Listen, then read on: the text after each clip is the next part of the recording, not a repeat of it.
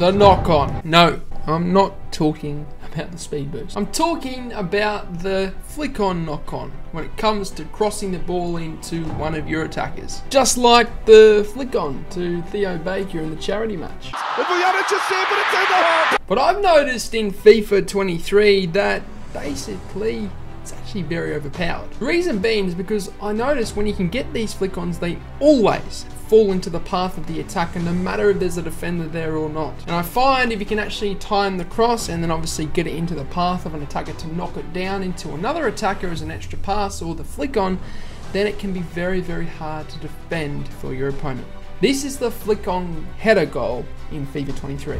Now the knock on, flick on, header, whatever you want to call it, is actually very, very broken as I iterated in the intro. And if you can actually time the cross into the attacker, and obviously you need to know how to cross. And usually it's if the attacker is in between the two defenders, and if he's closer to you, it's usually just a tap of the cross button. If he's far away, if he's at the back post, it's usually two or three bars. You want to do this and cross it into them. You then want to do a regular pass down to knock it down into the path of an attacker.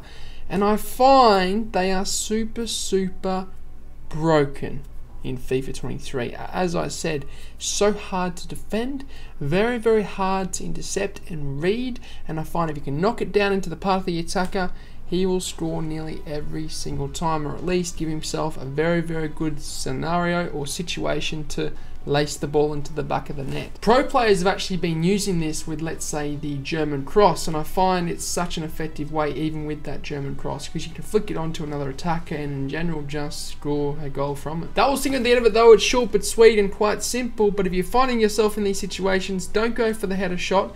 Go for the knock on or the flick on because it's super, super effective in FIFA 23. I'm coaching one on one on patreon.com. If you want to be part of that, the link is down below. And of course, check out the No Money Spent Road to an Event where I show you the ins and outs of what it takes to make an esport event. The series is live on the channel. Check that out. But as always, I hope you have a good day. I'm out. Sayonara. Au revoir. Adios. Salam. Ciao. Goodbye.